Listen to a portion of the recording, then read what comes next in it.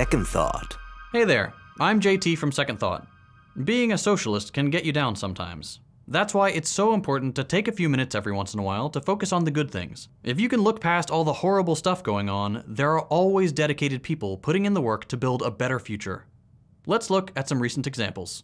The Kahnawake Bay restoration is a powerful example of the importance of indigenous governance. Kahnawake was once a small archipelago of lush natural islands, but it became a single piece of land after sludge from the river and blasted rock was dumped onto the archipelago by construction crews about 70 years ago. To make matters worse, in 1959, Canada and the United States cut off the community's access to the river, replacing the natural waterway with a narrow canal for large cargo ships, and expropriating the 1,262 acres for a mass industrial project. This was one of the most traumatic events that the community experienced. For decades, the island was rocky and arid, but the Kahnawake Environment Protection Office stepped in, initiating a community-driven, indigenous-led land conservation and restoration project. Now the bay is a peaceful oasis, complete with a protected nesting area for turtles and a habitat for the at-risk bank swallows migrating through the area. Lynn Jacobs, the former director of KEPO, said she's already noticed how many more species there are now, with bank swallows flying over the marsh by the hundreds. Cody Diabo, council chief responsible for the environment portfolio at the Mohawk Council of Kahnawake, said, Hearing the birds, hearing the insects, and just being able to see visually how beautiful it is, this is a good day. Remember folks, it's land back here and everywhere. On the 26th of July, tech workers from Amazon and Google demonstrated at the annual Amazon Web Services Summit in New York City. Holding pro-worker, pro-Palestine solidarity signs with anti-capitalist sentiments, workers disrupted the keynote speech, shouting, Free, free Palestine, no tech for Israel's crimes. Some of the signs read, Israeli apartheid genocide funded by the US, and Amazon profits off of Israel's military occupation. The effort was part of their continuing two-year No Tech for Apartheid campaign intended to make tech companies like Google and Amazon stop profiting off Israeli apartheid and settler colonial violence. Free, free Palestine. Over 800 academics and cultural personalities around the world signed a letter that calls the Israeli occupation of Palestine apartheid. The letter titled The Elephant in the Room highlights the direct link between Israel's recent attack on the judiciary and its illegal occupation of millions of Palestinians in the occupied Palestinian territories. Signatories call for numerous actions, particularly from the US Jewish community, including support for the Israeli protest movement, support for human rights organizations defending Palestine, a commitment to revolutionize the curricula for Jewish young people, and for leaders in the US to do what is needed to end the occupation. This letter is significant since it's garnered support from a large number of Jewish intellectuals. Professor Omer Bartov, who teaches Holocaust and genocide studies in the US, said that the broad inclusion of so many academics representing a stunningly broad spectrum of distinguished Jewish voices indicates a watershed moment in American Jewish views about Israel, and a new willingness by public figures, reflecting the sentiments of the younger generation, to honestly criticize Israel's policies. Ontario steelworkers of the United Steelworkers Union ended a six-week strike at National Steel Car after winning significant contractual gains. 87.4% of union members ratified the three-year collective agreement that will provide a 13% wage increase plus a $1,000 signing bonus, a $1 per hour wage increase for skilled trades members, improved pension plans, as well as increased health and safety measures. Myles Sullivan, USW District 6 Director, stated, I want to applaud every one of the 1,475 steelworkers at National Steel Car. Your win at the picket line and at the bargaining table sends a message that workers will no longer stand by and get left behind as corporations and CEOs rake in profits. It also echoes the demands of thousands of workers across the country who have had enough of greedy and negligent employers, and who are fighting back and taking action. The United Steelworkers have won the hearts of many unions and organizations in Canada, as they consistently show up in solidarity with other movements, and even anti-fascist demonstrations, as unions should. Rock on, Steelworkers, solidarity forever. In late July, Starbucks Workers United, alongside other leftist groups, hit the streets of Philadelphia. The demonstration, called The Union is Calling, was an organized bus tour of 13 cities, including Minneapolis, St. Paul, Atlanta, Chicago, Knoxville, Louisville, Pittsburgh, Buffalo, Los Angeles, San Francisco, Eugene, Portland, and Seattle. The Starbucks Workers United Union comprises 335 Starbucks stores in 38 states and the District of Columbia. Starbucks, however, has failed to negotiate in good faith with the union, while continuing to rack up hundreds of federal labor violations. Organizers in Philadelphia called on city officials to remove a non-union Starbucks store from city-owned property, and speakers described the poor treatment of workers and the company's illegal union busting campaign. The union's nine core demands include the ability to organize, Rights such as cause employment, worker safety, fair wages, access to healthcare, consistent schedules, increased leave of absence and time off, as well as access to the withheld benefits corporate officials have only given non-union employees.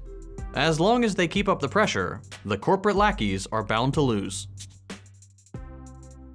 People's movements around the world rallied this month for the Let Cuba Live campaign, demanding that Cuba be removed from the US state sponsors of terrorism list. Organizers include the International People's Assembly, Foro de Sao Paulo, Trade Union Federation of the Americas, World March of Women, Continental Latin American and Caribbean Network in Solidarity with Cuba, and La Via Campesina. They're aiming to obtain more than a million signatures on a letter that will be delivered to President Biden, demanding that Cuba be removed from the list. The letter states that Cuba's inclusion on the list makes it much harder for Cuba to make transactions using international banking systems and acquire necessary goods on the international market such as fuel, food, construction supplies, hygiene products, and medicine. The movement has already collected signatures from high-profile names such as Peter Mertens, president of the Belgian Workers' Party, feminist scholar Judith Butler, and Evo Morales, the former president of Bolivia.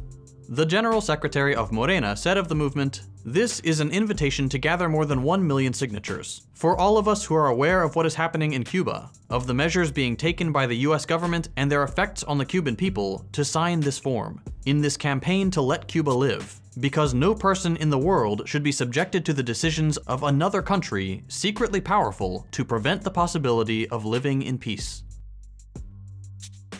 On Thursday, August 3rd, as many as 90,000 accredited social health activists united in the capital of India's Bihar state, Patna, calling for the state government to meet their demands. If the government fails to do so, they threaten to intensify their mobilization. The protesters were organized by a joint platform of various unions and associations. Among other demands, they call for a regular monthly wage equivalent to 120 US dollars, instead of the current 12 US dollars a month as well as government employee status and pensions. All power to the workers. Staff at a lodge for LNG workers in Canada's under construction facility in Kitimat, BC have won wage increases of up to 40%, averting a strike. The workers' union, Unite Here Local 40, stated the new deal was reached after the 450 hospitality workers at Cedar Valley Lodge unanimously voted in favor of ratifying the new contract. The union says this means most employees will receive a 30 to 40% pay bump over a one-year contract, while lodge workers will immediately get $5 more hourly, and maintenance staff will see an immediate 10% pay spike. On top of that, employees will receive increased vacation pay, improvements to medical benefits, a new retirement plan, and workload protections for kitchen, janitor, and housekeeping roles. It just goes to show how even the threat of a strike holds incredible power. Remember, the boss needs you, you don't need them, and the union makes us strong. On July 27th, US-based Korean activists protested outside the US Department of State in Washington, D.C., demanding an end to the 70-year-long Korean War and the travel ban on North Korea.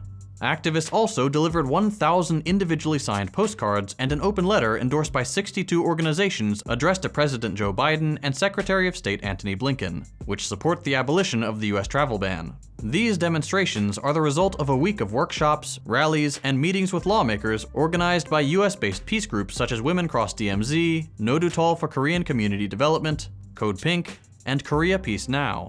Kathy Choi, Director of Policy and Organizing at Women Cross DMZ, said this support speaks to the widespread will of the American public to see a swift end to this draconian travel ban. The DMZ and travel bans forcibly split up Korean families to this day. Solidarity with this powerful movement. Venezuela has won a lawsuit against the Portuguese bank Novo Banco, recovering over $1.5 billion worth of assets frozen in the bank since 2019. These assets were supposed to fund medicines, food products, and other essential supplies for Venezuela. The District Court of Lisbon, Portugal declared the judicial appeal filed by the Venezuelan government well-founded. and ordered the immediate release of the money to various Venezuelan public entities. This marks the latest victory of the Bolivarian Republic and its people against sanctions imposed by the US and frozen funds in various international banks. Foreign Minister Ivan Gil celebrated the win as the result of a long battle and above all of the resistance of the Venezuelan people and the government of Nicolas Maduro, who do not allow themselves to be subdued by threats from imperialism and coup attempts. On July 29th and 30th, over 250 people from the Workers' World Party branches in Seattle, Portland, and New York City united in the People's Summit against the Asia Pacific Economic Cooperation, or APEC. APEC is a neoliberal free trade conference where, in the words of International League of People Struggle, government and big business collude to prioritize corporate profits at the expense of the global working class and poor. Attendees agreed on the necessity for a united front in the fight against imperialism and capitalism, and workshops discussed how to organize for a revolution and encourage working class solidarity. The summit ended with a rally from Cal Anderson Park to the Seattle Convention Center Summit building to confront members of APEC. Speeches were given at the center discussing themes of international solidarity, people's power, and the role of US imperialism as the main cause of the worldwide oppression of workers. Remember, Western comrades, that imperialism is the primary contradiction, and it's your responsibility to do everything in your power to end it. On the 8th of August, Issue 1, a right-wing movement attempting to prevent abortion access legislation, was crushed by a record turnout.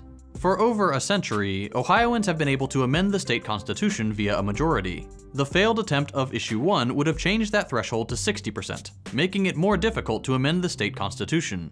But 57% of the voters said no, rejecting this measure and ensuring that access to abortion is enshrined, a significant win for reproductive justice. Ready for a laugh? Graham Linehan, a famous transphobe known for being banned from Twitter and his wife leaving him, tried to do his anti-trans comedy show in Edinburgh this month. He had booked the Leith Arches, but once the pro-LGBTQ venue learned what he planned to perform, they quickly cancelled on him. He claimed to have a second venue, which also cancelled. In the end, he resorted to doing his show outside of Parliament to about four guys. Credit to him, that is very funny. Ecuadorians have rejected oil drilling in a protected area of the Amazon, putting an end to operations in a region that is home to isolated indigenous groups and important biodiversity. With over 90% of the ballots counted at 60% voter turnout, Ecuadorians rejected the oil exploitation within Yasuni National Park. The park is inhabited by the Tagaeri and Taromenane, alongside other indigenous peoples. In 1989, it was registered, along with neighboring areas, as a World Biosphere Reserve by the United Nations Educational, Scientific, and Cultural Organization, also known as UNESCO. Covering a surface area of around 1 million hectares, the area comprises 610 species of birds, 139 species of amphibians, and 121 species of reptiles. At least three species are native to this area, and can be found nowhere else globally. Nemo Gikita, a leader of the Waorani tribe, said, Ecuadorians have come together for this cause to provide a life opportunity for our indigenous brothers and sisters, and also to show the entire world, amidst these challenging times of climate change, that we stand in support of the rainforest. On Thursday, August 3rd, the Glasgow Sheriff Court acquitted activist Nathan Hennebrey of the Young Communist League, charged during the 2021 COP26 climate protest. Hennebrey was one of over 50 people arrested during the course of the protests, but he was the only one facing a trial, as Scottish police were allegedly attempting to target the YCL and the Communist Party. During COP26, over 100,000 activists from leftist climate action groups and youth groups united on the streets demanding concrete proposals from the summit to prevent further climate catastrophe. The YCL group that held banners which read socialism or extinction was heavily monitored by the police. Hennebrey was accused of being in possession of a flare that could have caused injury to police during the march. According to a Morning Star report, the case against Hennebrey fell through after two police witnesses at the trial gave differing accounts of the incident. Following the verdict in the case, the Communist Party of Britain demanded an end to the attacks on communists, trade unionists, and environmentalists, the repeal of Tory laws expanding police powers and attacking the right to protest, and real action to save the planet and humanity from climate change. Australian scientists of Sturt National Park successfully reintroduced locally extinct species to safe zones in a nation home to one of the world's worst mammal extinction rates. The experiment is called Wild Deserts, and is run by the University of New South Wales in partnership with NSW Parks and Wildlife, whose aim is to return indigenous extinct animals to locations they once inhabited. To achieve this aim, scientists have fenced off 40 square kilometers, providing a pest-free safe haven for species to breed and learn to coexist. Scientists released 27 of the mammals a year ago, and there are now an estimated 120. Ecologist and project coordinator Reece Pedler said, We've reintroduced bilbies and shark bay bandicoots, and golden bandicoots and some other species are to come in the next few years. For the first time in US history, a Montana state court ruled on August 14th in favor of Montana youths that the state violated their right to a clean and healthful environment through its promotion of the use of fossil fuels. This represents a landmark victory for climate activists who have, for decades, been attempting to hold governments to account for turning a blind eye to CO2 emissions. This is even more astounding considering it involved just 16 Montanans, aged between 5 and 22, who brought the nation's first constitutional and first youth-led climate lawsuit to trial. Undoubtedly, this will inspire other activists and spark further such court cases. Executive Director of Our Children's Trust, Julia Olson, summarized, This is a huge win for Montana, for youth, for democracy, and for our climate. More rulings like this will certainly come. Comrades, if you have good news from the current month, please send your stories to mexie at protonmail.com. Thank you to Javi for the positive news jams. Thank you to Cosmo for the positive news background. Thank you to Mexie, Kathrin, Seb, and Marshall for scriptwriting and production. And thank you to Tristan for editing this video. And to yours truly for hosting this one. If you'd like to support the project, please go to patreon.com slash positive leftist news, or you can send a one-time tip via PayPal. The link is in the description box below. Yeah, come on. Sometimes